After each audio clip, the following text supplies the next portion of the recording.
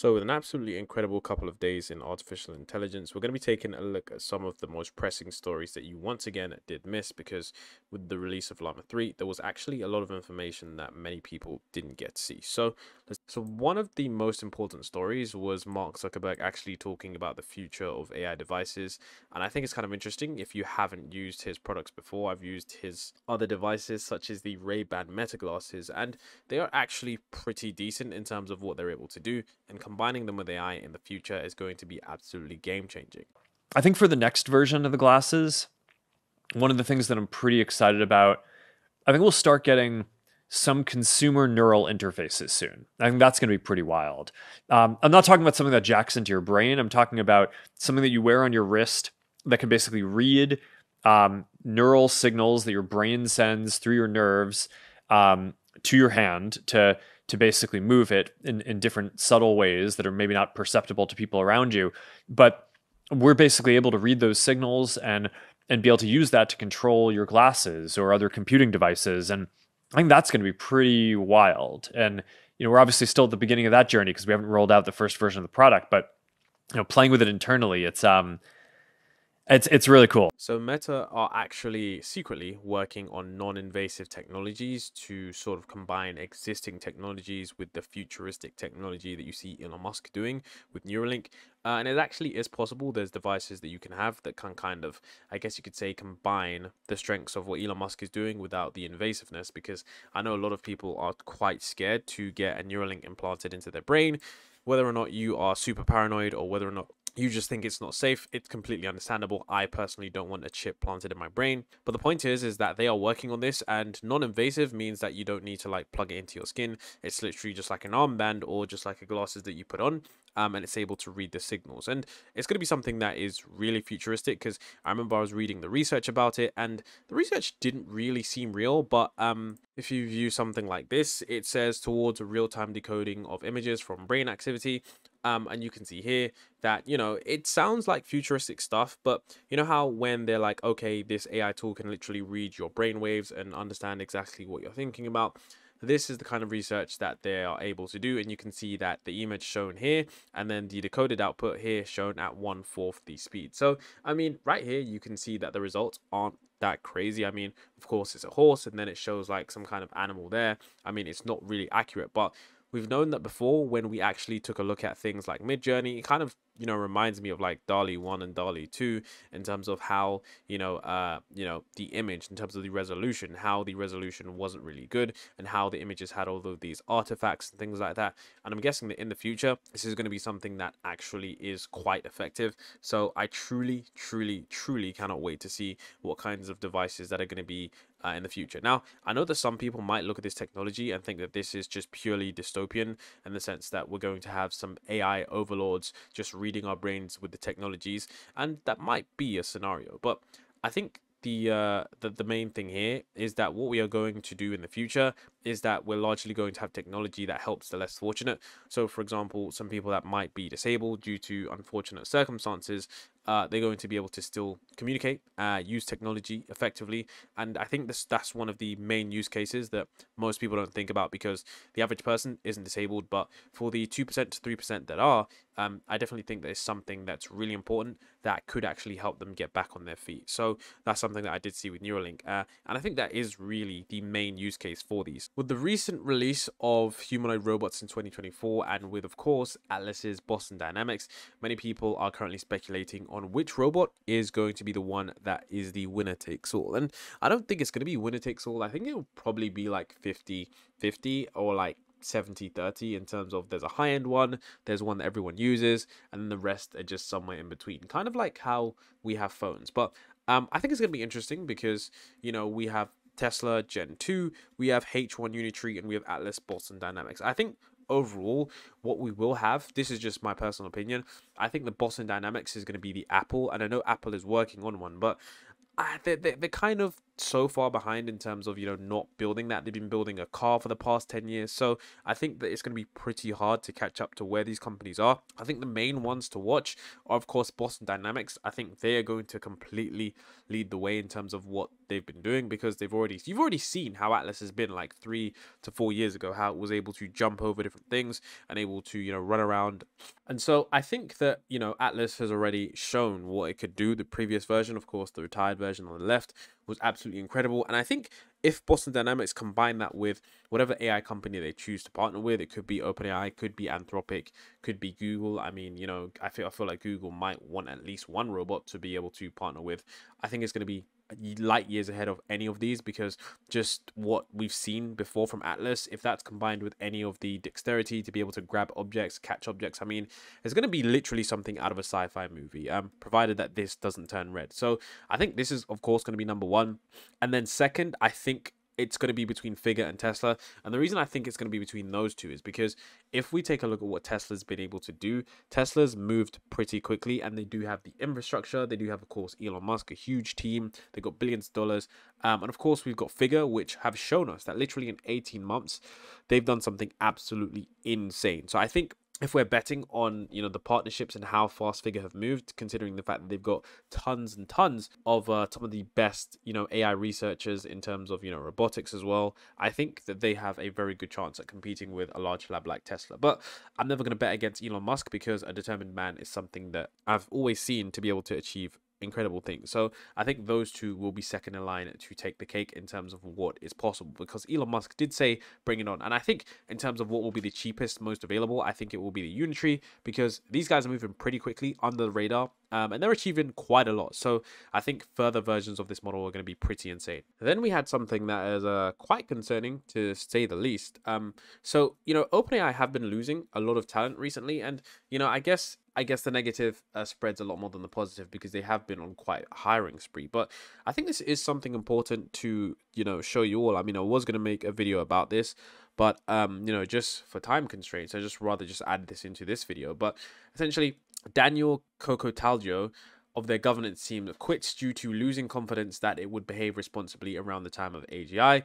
Um, and he wrote some very interesting things that I did do a video on last year that were actually quite interesting. I think, in fact, I think it was a couple of months ago, but just feels like, you know, with the rate that AI is moving, it was last year. But essentially, uh, he quit because he doesn't believe that they're going to act correctly. Now, basically, the reason this is so concerning is because you have to understand that AGI is going to be a technology which fundamentally changes how we operate as a society. And because of that, if OpenAI don't do what they said their mission statement is and if they decide to change things could get ugly pretty quickly because AGI is you know not far from ASI in the sense that you could use AGI a true AGI to get to ASI although there's different scales. You could use an AGI to get to ASI and if they use AGI to get to ASI pretty quickly because they have no you know uh, I guess you could say obligation to tell us if they've achieved AGI and if they're scaling to ASI I. Mean if I was OpenAI I would just scale to ASI anyways because what would be the point and I think it's going to be pretty fascinating because I mean, as he said, okay, and this is not me saying this, this is as he said, it's that like if you get to artificial super intelligence, you essentially have godlike powers over the people that don't. And basically, Think about it like this, okay? If we brought our technology back to the 1800s, it would seem like everything that we're doing on a day to day basis is magic. I mean, we communicate through the internet. You're watching this video through a small device that's connected across millions and millions of miles. You can have an instant connection with anyone, anywhere on the face of the earth, which is pretty pretty remarkable and we have weapons and weaponry and armories and just crazy things that you know just simply aren't even invented yet that people would be like wow okay that's mag- magic like imagine showing someone from that age a drone show like i mean they would they would freak out so i mean it's pretty pretty crazy and for those of you who think you know i'm just exaggerating on the claims these are some of the claims that he made uh, around a couple of months ago, and he said there will be AGI soon, any year now. Whoever controls AGI will be use it to get to ASI shortly thereafter, maybe in another give or take a year. And remember, this is the guy that's working on governance or OpenAI or futures. And I think look, like just look at these statements because you think I'm exaggerating, you think I'm making these bold claims like I'm just someone hyping up AI. This is not me. This is someone that actually works at OpenAI, and he says Probably whoever controls ASI will have access to a spread of powerful skills and abilities and will be able to build and wield technologies that seem like magic to us, just as modern tech would seem like magic to medievals. And this will probably give them godlike powers over those who don't control artificial superintelligence. And that's the point I've always made, okay? If OpenAI have control of a superintelligence, I mean, doesn't that just instantly make them the most powerful company on the face of the earth? And doesn't it mean that they pretty much can't lose? Because if you have someone that's magnitudes or a system that's magnitudes level smaller than us, I mean, the sheer amount of uh, capabilities that it could probably output just far surpass anything that we currently have because it's able to evolve at a rate that we can't even perceive. Um, and they're able to just move faster than any standard human company could even dream to. So I think that that is of course going to be OpenAI's goal because once you have that, I mean, you have everything. And and I think the point is is that like, how do we trust a company to uh you know act correctly? I mean, even if OpenAI decided that they weren't acting correctly, the super intelligence could just tell them, provided they did have control of it and provided we're all still alive, a super intelligent, you know, AI system could, in theory, protect them from any you know harmful doing and just make them retain power. If they were like okay we want to become the most valuable company on the planet. We want to retain uh, power in this country and that country they could instantly do that with a click and nobody would pretty much be able to stop them so i mean it's kind of like this you know i guess we're just trusting openai to do the right thing because once they have agi slash asi i mean you know, the cat's out of the bag. It's not like we can stop them even if we wanted to. I mean, what are laws and regulations if you have something that could do anything you'd want it to? And I mean, I know it sounds pretty crazy, but um, you know, it's crazy until it's not. You know, GPT-4 was crazy until it's not. Image creation was crazy until it's not. Video to, you know, image to video, whatever with Sora was crazy until it's not. So um, you can see, you know, currently no one knows how to control ASI. If one of our training runs work out way better than we expect, we'd have a rogue ASI on our hands. Um, but yeah, there's a lot of uh, crazy, crazy stuff that is very, very interesting from his, you know, statements that were from a couple of months ago. Um, and the fact that now he's quit because he's like, you know what, I don't know if OpenAI is going to take this seriously. I think it does say a lot about the state of OpenAI. Um, and I, I can honestly say, as someone who doesn't work at OpenAI and has no ties to OpenAI, I can just say that I genuinely hope that for the sake of humanity, they do the right thing. I know that's a crazy statement, just hoping that a company does the right thing because big corporations usually never do. They do what's in the interest of finances and money, and big companies usually greedy. But, you know, I'm just guessing that I hope they do the right thing because, you know, what other shot do we have?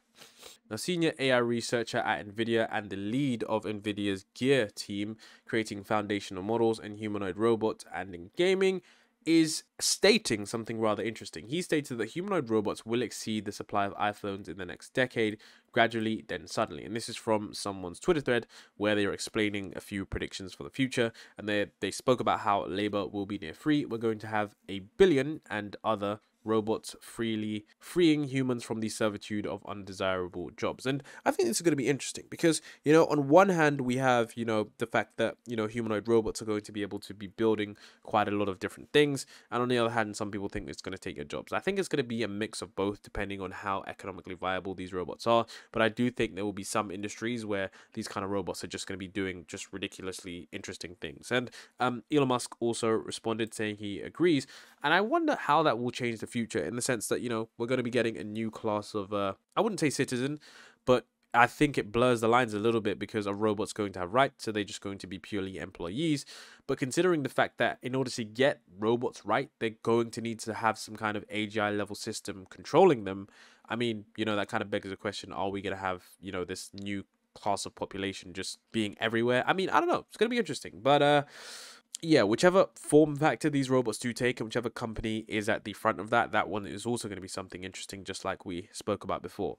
Now, something that I actually did miss from Meta's release was the fact that their new AI tool, there's actually a secret feature. So, for some reason, this the only reason I missed this is because it doesn't actually happen to every version. It's kind of like I guess you could say being rolled out in alpha to variety of different accounts. There's no real way to get this, but essentially you can click create an image of something, and then as you're typing, it kind of changes the image. Now, I do know from using a vast different amount of AI tools that this is actually something that you can do with many different AI tools, but I think it's kind of interesting to see that Meta straight out of the gate, they're coming out with not just a image creator, not just an image, you know, to video creator, but they're also coming out with something that animates the text as you write it. So, I mean, from what I've seen so far, a lot of people actually do like this technology. So I'm guessing that this is going to be a hit, and maybe uh, ChatGPT slash OpenAI are going to include this in the next product release. But I think this might be the future as well because, um, you know, Emad Mostaque was actually talking about how we've moved to a stage now where we can literally click generate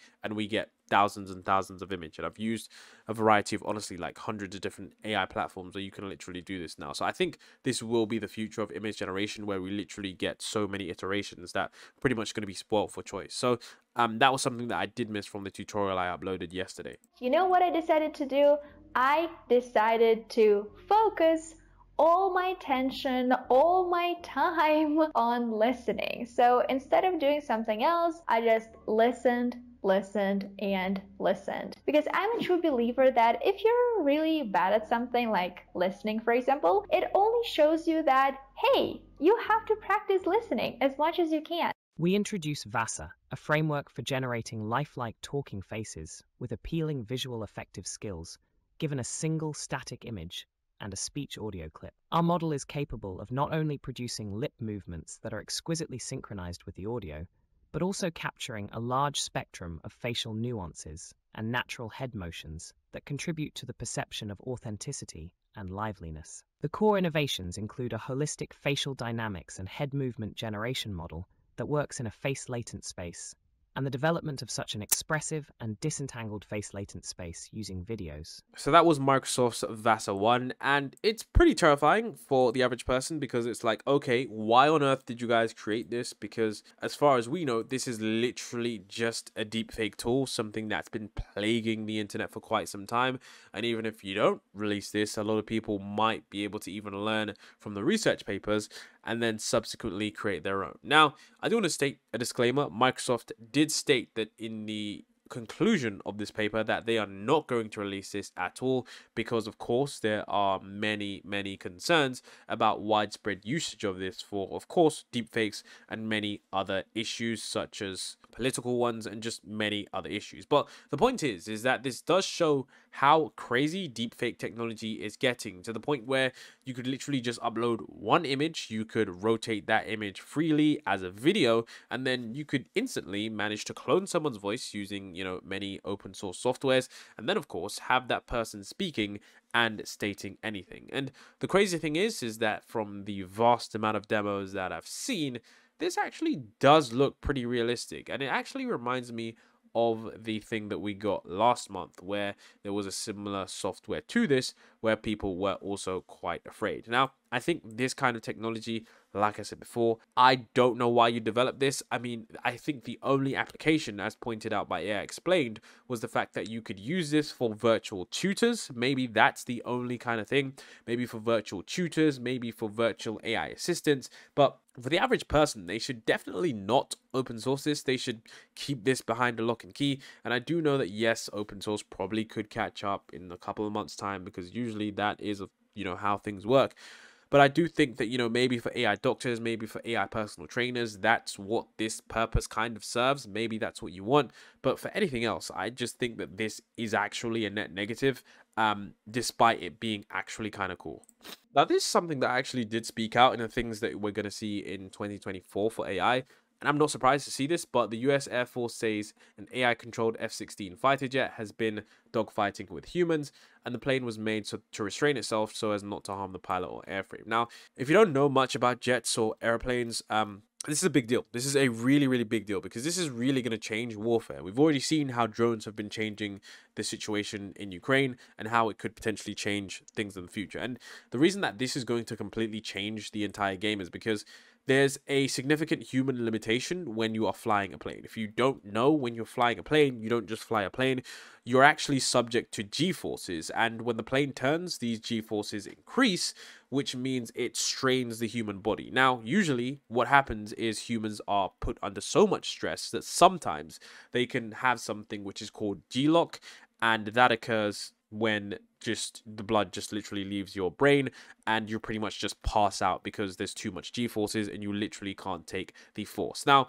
that's a problem because, of course, pilots don't want to pass out whilst flying the plane. It could lead to them obviously crashing. And this is where AI comes in and solves the problem because if an AI can take G forces that humans simply can't, it means it's literally going to be able to execute maneuvers that humans won't be able to. And if there is a fleet of highly advanced F 16 AI fighter jets, they simply will not lose.